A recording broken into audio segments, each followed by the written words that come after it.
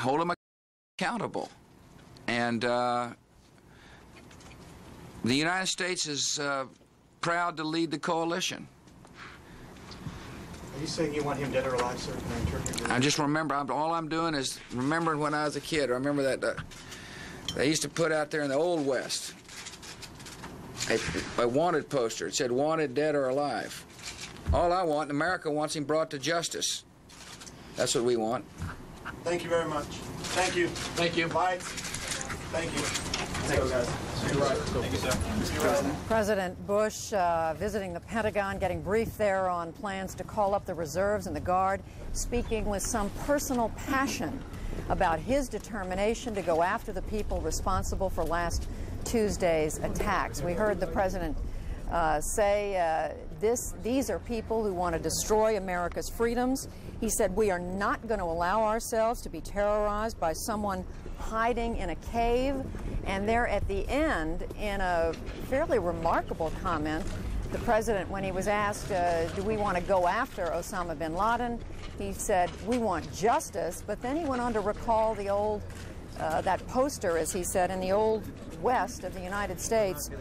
The poster wanted dead or alive, which frankly leaves it somewhat up in the air about what the uh, the mission of the United States is. The president is at the Pentagon to be briefed on uh, plans to call up the reserves. He did say that they are looking at at least 35,000 troops being called up to do everything from maintain air defenses, check shipping, help the military with airlift uh, and logistics.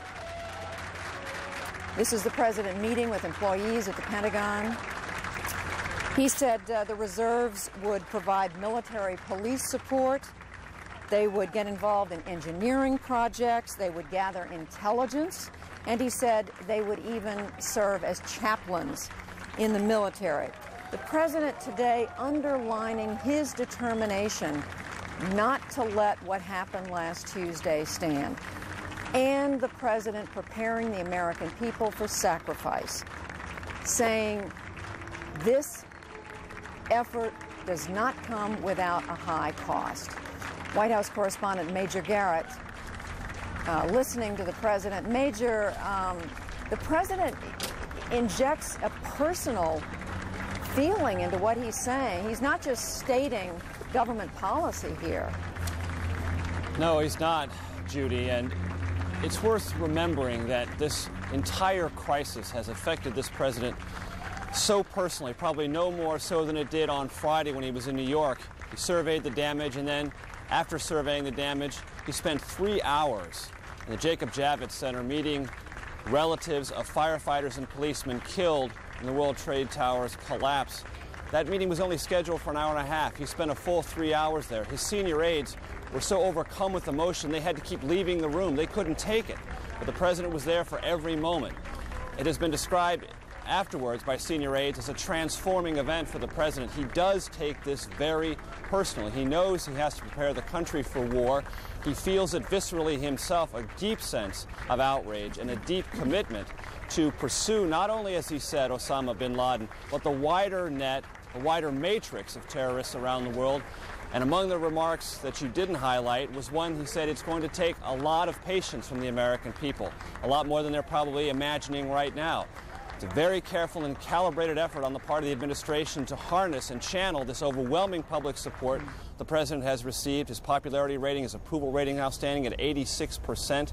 They want to channel that and harness that popularity, not only for what may come now in the near term, but obviously the longer term elements of this campaign against global terrorism. Major, I was struck that the president uh, made a point of characterizing, uh, took some pains to characterize these terrorists. He did talk about Osama bin Laden, but he made it clear it's not limited to him. He talked about uh, going after anyone who provided comfort, food, aid of any sort, financial aid to, uh, to the bin Laden network. And then he went on to talk about this is a different type of, a, of an enemy. He said, in the past, we've gone after beaches, we've tried to uh, uh, capture islands. He said these are people who like to hide and burrow in. He went on to say they don't, uh, they don't follow ordinary conventional rules. They slit the throats of women on airplanes. Now that's a reference to what we believe happened on one or more of those airplanes last Tuesday when uh, the hijackers literally slit the throats, we believe, of the airline attendants and perhaps passengers. All of those gruesome details becoming more a part of the horrific story of the events on Tuesday. Details the president is latching onto and sharing with the American public in a very emphatic way. Not, I don't think, to stir them up or to create any froth would be hard to create any more froth than there already is, any more sense of outrage, but to try to suggest and typify the kind of behavior and the kind of actions the United States is up against when it combats terrorists of this kind. All right, Major Garrett, and again, uh, we've just been watching pictures of President Bush uh, at the Pentagon in the last few hours, getting briefed, also meeting with uh, military and civilian employees there. We're going to take a short break. When we come back, an update on the investigation into last Tuesday's attacks, also a briefing from the Justice Department. We'll be right back.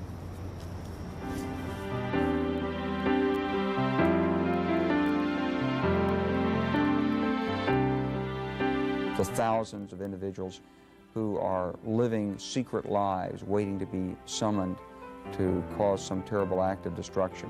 That network has to be taken apart and destroyed.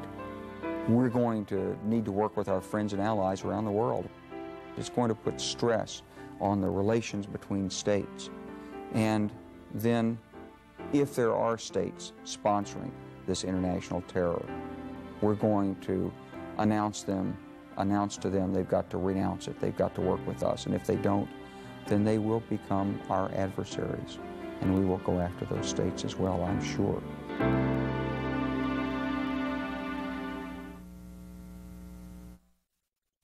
With the kind of deals we have here in Gateway Country, we don't need gimmicks to get you in the store. Right now, we'll give you this Epson Stylus printer free when you buy any Gateway Essential PC.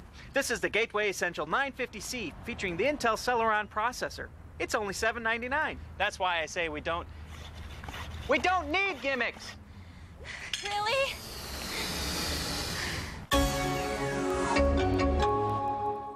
Offer ends September 23rd, so stop by soon or call 1 800 Gateway.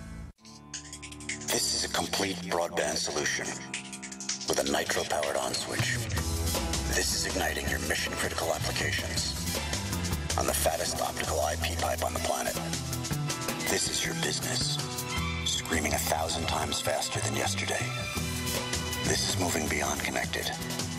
This is riding the light. This is the technology that makes it happen. Qwest. Ride the light. Refinancing your mortgage may be easier than you think. Just log on to ditech.com or call 1 800 71 Fixed. Today's low fixed rate with zero points is only 6.750%. With interest rates lower, now may be a great time to get cash or use the equity in your home to consolidate bills. It's smart money from ditech.com. Apply online or call us at 1 800 71 Fixed. Morning, guys. Hi. Hey, morning. Like to see how your cereals stack up the oh, total? ahead. To get Sure. the iron in one bowl of total, you'll have to eat two bowls of cornflakes. For folic acid, try four bowls. That's a really big spoon. Want zinc? Ten bowls for you. What's so funny? nothing. Nothing. Nice bowls. Total has 100% of 11 vitamins and minerals in just one bowl. We'll take the total. Sure. And give Junior the check. What? Total, Total Raisin Bran, Total Corn Flakes. One bowl, 100%. Here in New York, we continue to watch the stock market numbers. The Dow down 530 points, it looks like to me. Uh, it's been sort of moving in a range over the last hour or so. Uh, in Washington, the focus continues to be on the investigation. More progress made overnight. CNN national correspondent Eileen O'Connor, part of the team covering that story, joins us now with some detail as we wait, and it may come very quickly, uh, for the Attorney General's briefing. There it is, Attorney General John Ashcroft. Eileen, we'll get back to you. Thank you.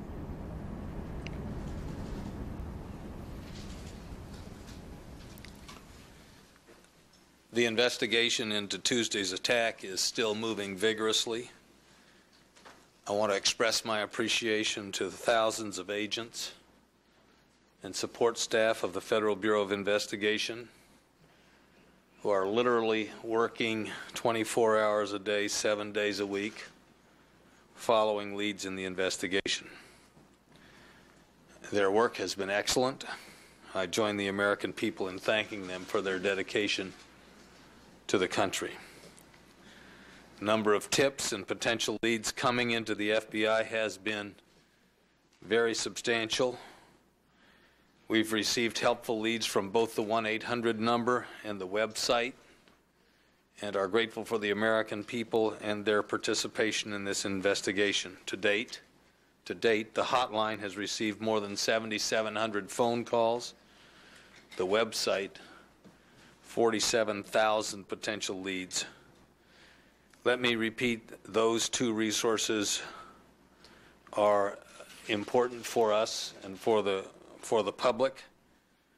Any member of the public that has information that may be helpful to the investigation, please call 1 866 483 5137. The toll free calling number is 1 866 483 5137. Or you can reach us at the internet at www.ifccfbi.gov. In an effort to assist the FBI with manpower, I have directed the U.S. Marshals Service to assign more than 300 deputy marshals to provide needed assistance to FBI field offices. These deputy marshals will be assigned to the various locations across the country to augment and enhance the ongoing investigation and the responsibilities we have. While the FBI has always had a law enforcement presence in the air, the Department of Transportation has decided to expand our country's law enforcement capacities in that respect. Each day, as flights increase, we will be adding additional enforcement officials from the Department of Justice as air marshals on planes, in addition to the already heightened security on the ground in airports. These additional law enforcement officials from various federal agencies are being assigned to the FAA to ensure aircraft passenger safety. Yesterday, I met with several members of the House and Senate leadership, including the leadership of the Intelligence and Judiciary Committees. FBI Director Mueller and I discussed with them the current threat assessment including our belief that associates of the hijackers that have ties to terrorist organizations may be a continuing presence in the United States. This threat assessment has helped us to identify several areas where we should strengthen our laws to increase the ability of the Department of Justice and its component agencies to identify, prevent, and punish terrorism. The meetings we had were very productive, and I'm optimistic that we will be able to act quickly to provide law enforcement with the additional tools that are necessary to fight terrorism. I was encouraged by the members' support and their pledge to work as members of the Congress with the Department of Justice to move this agenda of anti terrorism legislation forward. In the next few days, we intend to finalize a package of legislative members, uh, measures pardon me, that will be comprehensive. Areas covered include criminal justice, immigration, intelligence gathering, and financial infrastructure. And while the final details are still being discussed, I can highlight a few of the items that we will address in the proposal. Under intelligence gathering, we want to provide additional tools to collect intelligence on terrorists, including expanded electronic surveillance, search authority, and the ability to identify, seize, and forfeit terrorist assets. Two specific changes we have proposed include first, current law requires us to obtain a wiretap